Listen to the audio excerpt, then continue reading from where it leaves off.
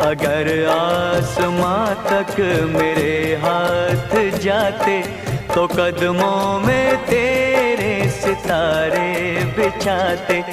कहीं दूर परियों की नगरी में चलकर मोहब्बत का एक आशियाना बनाते।